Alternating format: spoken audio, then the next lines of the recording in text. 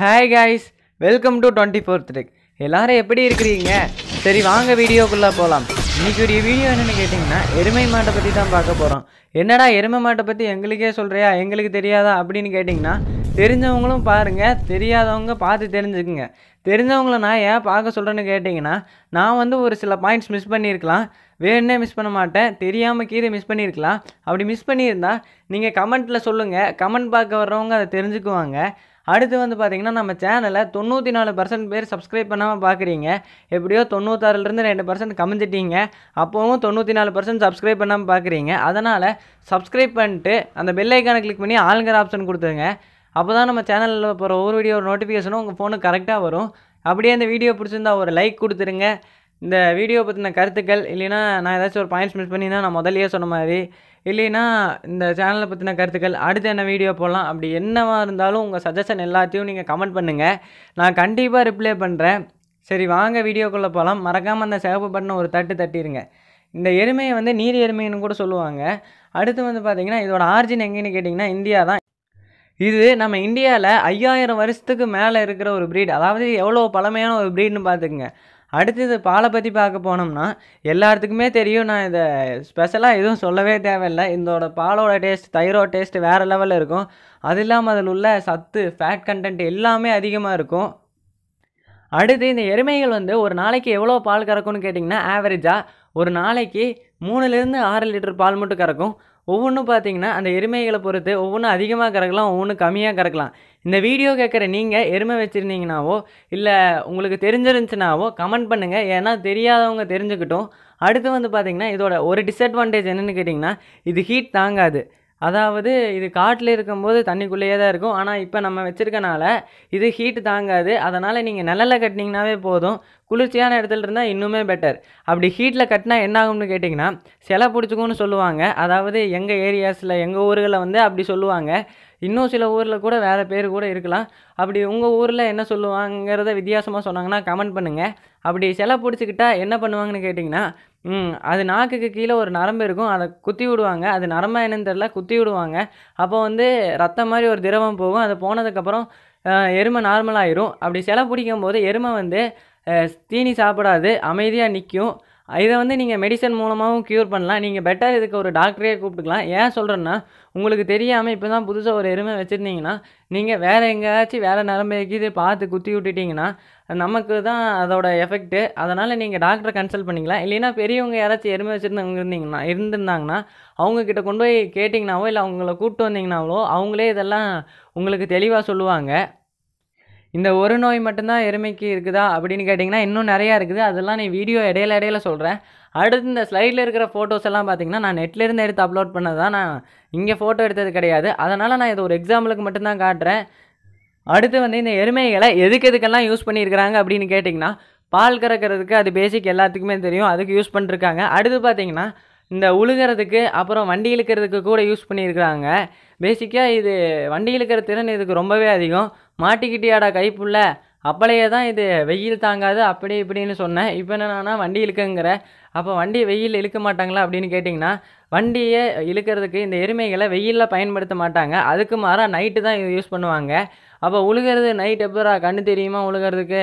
இதென்ன டிராக்டர் முன்னாடி focus light மாட்டி உழவு ஓட்டுறதுக்குன்னு கேட்டிங்கன்னா கண்டிப்பாக இல்லை. நைட்னா எப்படி சொல்கிறது ஒரு சாயங்காலம் இல்லைன்னா காலையில் வெயில் அதிகமாக வராதுக்கு முன்னாடி தான் இதை யூஸ் பண்ணுவாங்க. அடுத்து இந்த எருமைகளை பற்றி பார்க்க போனோம்னா இதோட பால் அதை பற்றியெல்லாம் பார்க்க போனால் இந்த எருமைகள் வந்து கண் போட்டதுலேருந்து அதாவது கண் ஈன்றதுலேருந்து மூணு நாள் வரைக்கும் இது சீம்பால் கொடுக்கும்.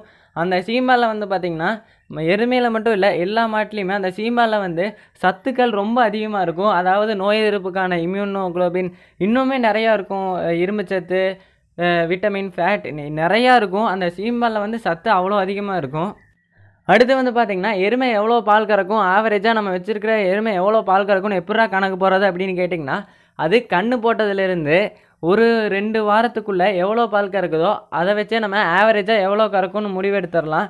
அடுத்து பார்த்திங்கன்னா இது அஞ்சிலிருந்து ஆறு வாரத்தில் இதோட ஹை மில்க் ப்ரொடக்ஷன் இருக்கும். அதாவது இது கண்ணு போட்டதுலேருந்து அஞ்சாவது அஞ்சாவது இல்லைன்னா ஆறாவது வாரத்தில் இதோட பால் உற்பத்தி வந்து அதிகமாக இருக்கும்.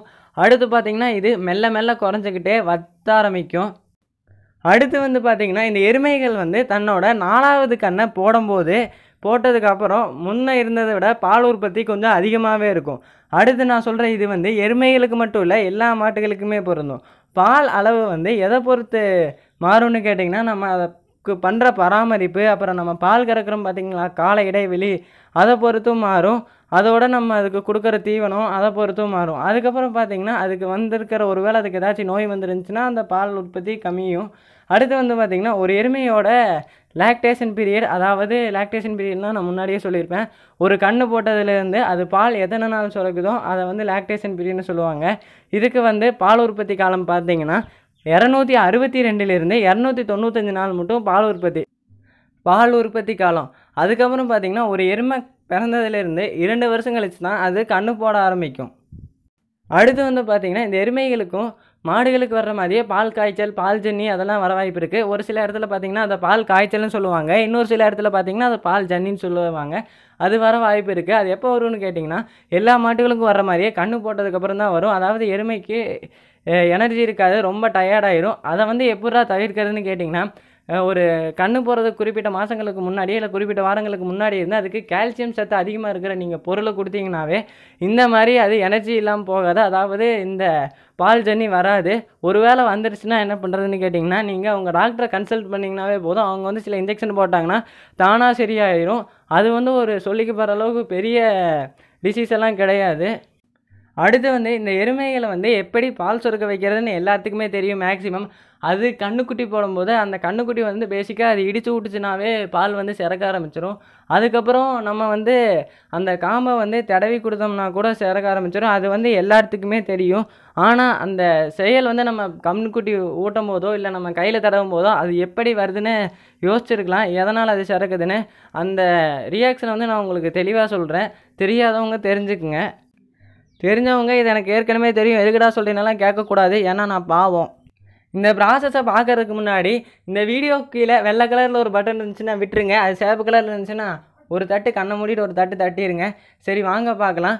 அப்படியே அந்த கண்ணுக்குட்டி ஊட்டும் போதோ இல்லை நம்ம அதை கையில் மசாஜ் செய்கிற மாதிரி தடவும் போதோ அது எப்படி பால் சுரக்கும்னு கேட்டிங்கன்னா இதுங்களுக்கு மடியில் வந்து ஆக்சிடோசின் ஹார்மோன் அப்படின்னு ஒன்று இருக்கும். கீழ்ப்புறத்தில் நம்ம அதை வந்து இந்த தடவுறது மூலியமாகவோ இல்லை மசாஜும் பண்ணுற மாதிரி இருக்கிறது மூலியமாகவோ இல்லை இடித்து இடித்து கண்ணுக்குட்டி ஊட்டுறது மூலியமாகவோ அது தூண்டப்படுது. அப்படி தூண்டப்படுறதுனால என்ன நடக்குதுன்னு கேட்டிங்கன்னா அந்த ஆக்சிடோசின் ஹார்மோன் வந்து அதோட ஹார்மோனை ரிலீஸ் பண்ணுது.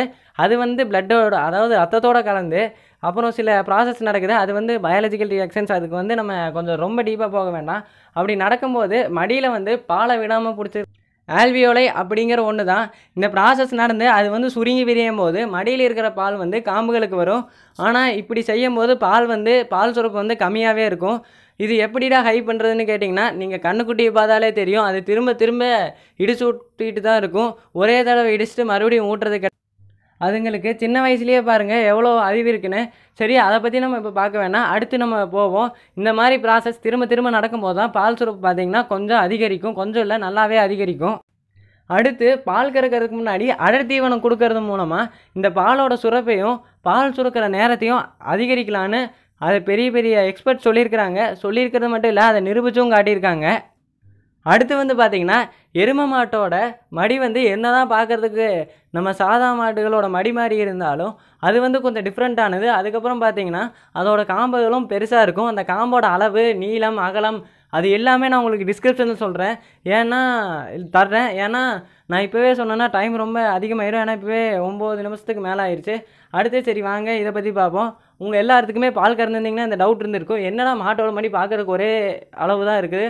ஆனால் கறந்தால் ஒரு சைடு பார்த்தீங்கன்னா அதிகமாக வருது. பால் ஒரு சைடு கம்மியாக வருது. அந்த ஒரு சைடு அதிகம்ங்கிறது வந்து பார்த்தீங்கன்னா நல்லா நோட் பண்ணியிருந்தீங்கன்னா தெரிஞ்சிருக்கும். அது எதனாலேன்னு கேட்டிங்கன்னா பேசிக்காக கால்நடையோட மடி வந்து அறுபது இஷ்டு நாற்பதுங்கிற விதத்தில் இருக்கும். அதாவது முன்பக்கத்தில் வந்து நாற்பது பர்சன்ட்டோ பின்பக்கத்தில் வந்து அது அறுபது பர்சன்ட் ஆஃப் பால் வந்து இருக்கும். எடுத்துக்காட்டுக்கு பார்த்தீங்கன்னா ஒரு பத்து லிட்டர் பால் கறக்கிற மாட்டை எடுத்துக்கிட்டால் அதில் ஆறு லிட்டர் வந்து பின்பக்கம் இருக்கிற மடியிலையும் பின்பக்கம் பகுதியிலையும் மே- மறுபடியும் நாலு லிட்டர் வந்து முன்பக்கம் இருக்கிறதுலையும் இருக்கும். இது வந்து நான் ஒரு எடுத்துக்காட்டுக்கு பத்து லிட்டர்னு சொன்னேன். என்னடா நீ பாட்டுக்கு பத்து லிட்டர்ன்ட்ட எருமை பத்து லிட்டருக்கு வந்து நான் பார்த்ததே இல்லைனாலும் நீங்கள் என்ன கேட்கக்கூடாது நான் பாவம். அடுத்து வந்து பார்த்தீங்கன்னா எருமை மாட்டில் பால் கறக்குறவங்களுக்கு இது ரொம்ப நல்லாவே தெரிஞ்சிருக்கும்.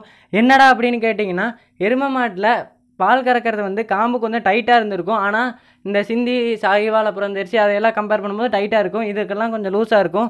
ஆனால் நான் சொல்கிற இதை கேட்டுட்டு பால் கறக்க தெரியாதவங்க போய் கறந்து பார்த்தீங்கன்னா எதை கறந்தீங்கனாலும் ஒரே மாதிரி தான் இருக்கும். டைட்டாக தான் தெரியும். அது போக போகத்தான் பழகும். சரி நம்ம வாங்க இதுக்கு வருவோம். அது ஏன் அப்படி டைட்டாக இருக்குன்னு கேட்டிங்கன்னா இந்த எருமை மாட்டில் பால் வர்ற துளையை சுற்றி உள்ள திசுக்கள் வந்து கொஞ்சம் கடினமாக இருக்கும். அதாவது இந்த ஜெர்சி அண்டு சாகிவால் அதுக்கெல்லாம் கம்பேர் பண்ணும்போது அதனால தான் நம்ம பால் கறக்கும் போது மற்ற மாட்டை காட்டிலும் இதுக்கு கொஞ்சம் ஃபோர்ஸ் அதிகமாக கொடுத்து கறக்க வேண்டியிருக்கு. அதனாலேயே இதுக்கு பால் கறக்கிறதுக்கு மிஷின் யூஸ் பண்ணால் கொஞ்சம் பவர் அதிகமாக இருக்கிற மிஷினை யூஸ் பண்ணணும். அடுத்து வந்து பார்த்திங்கன்னா மாடுகளில் வந்து ஆக்சிடோசின் ஹார்மோன் வந்து தொடர்ந்து சுரந்துக்கிட்டே இருந்தால் தான் அதோட பால் சுரப்பும் கரெக்டாக இருக்கும். இல்லைன்னா பால் சுரப்பு வந்து நின்றும் என்னடா பைத்தியம் மாதிரி பாதி வீடியோவில் வந்து எதோ உளறிக்கிட்டு இருக்கிற. ஏன்டா அப்படின்னு கேட்டிங்கன்னா இது வந்து நான் அடுத்து சொல்கிறதோட மேட்ச் ஆகும். அதனால தான் நான் இதை இப்போ சொல்கிறேன் என்னென்னு கேட்டிங்கன்னா எருமை மாடுகள் வந்து மற்ற மாடுகளை ஒப்பிட்டு பார்க்கும்போது சுற்றுச்சூழல் மாற்றத்தினால பாதிக்கக்கூடியவை. என்னடா பாதிக்கப்படும்னு கேட்டிங்கன்னா அதாவது இந்த வெடி சத்தம் அது பயக்கிறதுக்கு என்னென்ன ஆகுதோ இல்லை அதுக்கு ஏதாச்சும் உடம்புல வலி இல்லை மன அழுத்தம் மாட்டுக்கு மன அழுத்தம் வருமானு கேட்டிங்கன்னா அதுக்கும் மன அழுத்தம் வரும். இப்படி ஏதாச்சும் நடக்கும்போது நமக்கு எப்படி அட்ரினலின் சுரக்குதோ அதே மாதிரி அதுகளுக்கும் சுரக்கும். அப்படி சுரக்கும் போது ரத்தத்தில் இருக்க ஆக்சிஜன் லெவலை கம்மி பண்ணும். அது கம்மி பண்ணுறது மட்டும் இல்லாமல் நான் முன்னாடியே சொன்ன பார்த்தீங்கன்னா பாலை சுரக்க வைக்கிற அந்த ஆல்வியோலை அந்த ஆல்வியோலைக்கு வந்து இந்த ஆக்சிடோசின் ஹார்மோன் வந்து கிடைக்காத மாதிரி பண்ணும். அப்படி கிடைக்காத போது ஆட்டோமேட்டிக்காக இந்த ஆல்வியோலை பால் போகிறத வந்து ஸ்டாப் பண்ணிடும் அப்படி ஸ்டாப் பண்ணும்போது பால் சுரப்பு நின்றும். அதனால தான் பால் வந்து சுரக்காமல் அதை அடக்கி வச்சுக்குதுன்னு கூட சில பேர் சொல்லுவாங்க. அடுத்து வந்து பார்த்திங்கன்னா இந்த எருமைகளில் வந்து ரெண்டு வகைகள் இருக்குது ஒன்று வந்து இந்தியாவில் உள்ள நீர் எருமை நம்ம பேசிக்காக எருமைன்னு சொல்லுவோம். அடுத்து சைனாவில் இருக்க நீர்க்காட்டு எருமை அதாவது அவங்க நீர்க்காட்டு எருமைன்னு தான் சொல்லுவாங்க. இது வந்து இந்தியாவில் ஐயாயிரம் வருடங்களாக இருக்குன்னு சொல்கிறாங்க சைனாவில் வந்து பார்த்திங்கன்னா நாலாயிரம் வருடங்களாக தான் இருக்குது என்னடா ஆயிரம் வருடத்தை அவ்வளோ பெருசாக சொல்கிறேன்னு கேட்டிங்கன்னா ஆயிரம் நாளே நமக்கு பெருசாங்க அப்போ ஆயிரம் வருடம் டிஃப்ரென்ஸ் இருக்குது. அப்போ பார்த்துக்குங்க இந்த எருமையில் வந்து பார்த்திங்கன்னா இன்னுமே சொல்கிறதுக்கு நிறைய இன்ஃபர்மேஷன் இருக்குது இதுக்கு வேணா சொல்லுங்கள் நான் பார்ட் டூ போடுறேன். ஏன்டா பார்ட் டூ போடுறேன் இதுலேயே கண்டினியூ பண்ணுன்னு கேட்டிங்கன்னா நான் பெருசு பெருசாக வீடியோ போட போட வாட்ச் டைம் சிறுசு சிறுசாக ஆகிக்கிட்டு இருக்கு. ஒரு வீடியோவை பேசிக்காக இப்போ ஒரு மூணு நிமிஷம் தான் பார்க்குறீங்க ஒரு வேளை பார்ட் டூ போட்டால் அதை ஃபுல்லாக பார்ப்பீங்கன்னு நினைக்கிறேன். ஓகே யூஸ் நீங்கள் ஒரு வீடியோ முடிஞ்சு இதோட பார்ட் டூ வேணாலும் சொல்லுங்கள் இப்போதைக்கு இதில் நான் பேசிக்கான இன்ஃபர்மேஷன் சொல்லிட்டேன். நான் பாதியோடலாம் முடிக்கலை. இன்னி சொல்ல போனால் இன்னும் சில இதுக்கு ப்ரிவென்ஷன் நோயோட ப்ரிவென்ஷன் அதெல்லாம் சொல்லணும். அடுத்து வந்து இந்த எருமை மாட்டுகளை பற்றின தகவலில் நான் ஏதாச்சும் ஒன்று ரெண்டு மிஸ் பண்ணியிருந்தாலோ இல்லை உங்களுக்கு எக்ஸ்ட்ரா ஏதாச்சும் தெரிஞ்சிருந்தாவோ மறக்காமல் கமெண்ட் பாக்ஸில் கமெண்ட் பண்ணுங்கள் முக்கியமாக கமெண்ட் பண்ணுங்கள் ஏன்னா சில பேர் சில தகவல் தெரிஞ்சுக்கணுன்ட்டு வருவாங்க. ஒருவேளை அது என் மூலமாக தெரியலனா கூட மேக்ஸிமம் நான் சொல்ல வந்ததை சொல்லியிருப்பேன். அடுத்து உங்கள் மூலமாகவாச்சும் தெரிஞ்சுக்கிட்டும் கமெண்ட்டில் போய் பார்த்தாங்கன்னா அவங்க கண்டிப்பாக தெரிஞ்சுக்கிட்டும். அதனால தான் சொல்ல வர்றேன். ஏன்டா இதை தெரிஞ்சு நான் என்ன பண்ண போகிறேன் அப்படின்னு கேட்டிங்கன்னா இது வந்து நம்ம இந்தியாவில் இருக்க ஐயாயிரம் வருஷம் பழமையான ஒரு ப்ரீட் இதை தெரிஞ்சுக்கிறதுனால ஒரு தப்பு கூட கிடையாது. அதனால் எல்லாம் தெரிஞ்சுக்கங்க. அதாவது நான் இதை நான் முன்னாடியே சொன்ன மாதிரி செஞ்சுருங்க. அடுத்து அந்த சிவப்பு பட்டனை சிவப்பு கலரில் இருந்துச்சுன்னா ஒரு தட்டு தட்டி அதை வெள்ளை கலரில் மாற்றிடுங்க அடுத்து வந்து இந்த வீடியோ பிடிச்சிருந்தா ஒரு லைக் கொடுத்துருங்க எப்போ போல் கமெண்ட் பண்ணிடுங்க. ஓகே யோஸ் பாய் அடுத்து ஒரு இன்ட்ரெஸ்டிங் அப்புறம் ஒரு தெரிஞ்சுக்கக்கூடிய ஒரு கண்டென்ட்டோட சந்திக்கிறேன். அது மட்டும் எல்லோரும் வீட்டில் பத்திரமா பாதுகாப்பாக இருங்க. Stay home stay safe